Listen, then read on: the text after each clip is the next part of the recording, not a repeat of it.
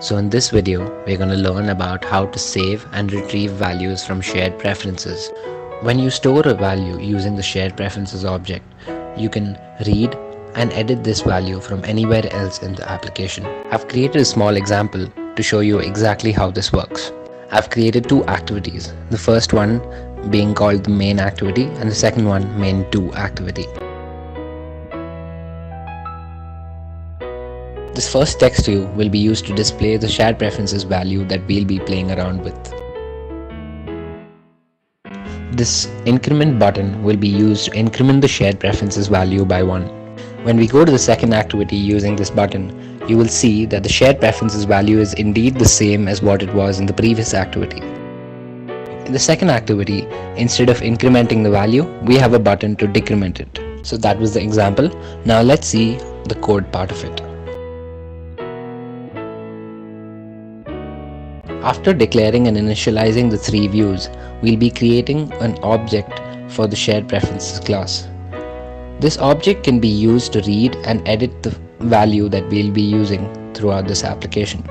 Shared preferences prefs is equal to main activity dot this dot get shared preferences and the two parameters that we'll be passing is keys dot prefs key and context dot mode private. The first parameter in our case keys.prefs key is actually a string which is used to denote the shared preferences file that we are referring to. Instead of hard coding the string over here, I've declared it in another class called keys.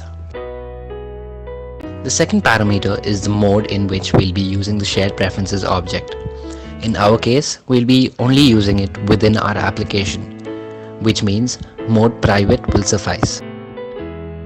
Now using the prefs object that we just created, we're going to get the value from the shared preferences. We can store values of different data types in shared preferences like int, boolean, float, long or even string. In our case, we're storing and retrieving an integer, which is why we're using a method called getInt. GetInt takes two parameters, the first being a string and the second being an integer. The first parameter is basically the key of the shared, shared preferences value and the second parameter is the value itself.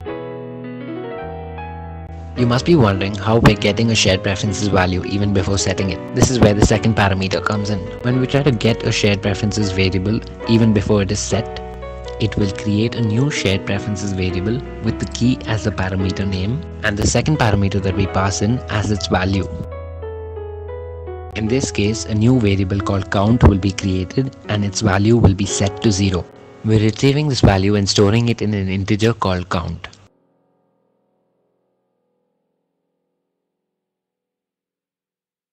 This line updates the text view with the value that we just retrieved. On clicking the increment button, we're going to first get the value from the shared preferences, increment it by 1 and then put it back. We already know how to get the value from shared preferences. Now we're going to learn how to edit and update the value. We're going to be using the prefs object again. So prefs.edit.putInt, the first parameter being the key of the value, the second parameter being the value that you want to update it with, and don't forget to call the apply function we have another button that basically replaces the first activity with the second activity. The second activity has a very similar layout to the first activity, except instead of the increment button, we now have a decrement button, which basically decrements the value of the shared preferences and updates it. Let's run the app and see it in action. As you can see, every time I click the increment button, the shared preferences value increases by 1 Let's go to the second activity now. As you can see, the value over here is the same as where we left off in the first activity. This is the power of shared preferences. You can create and edit values from anywhere in the application and these values will remain the same even after the user closes the application. Thanks for watching. Please do subscribe for more on-point videos just like this one.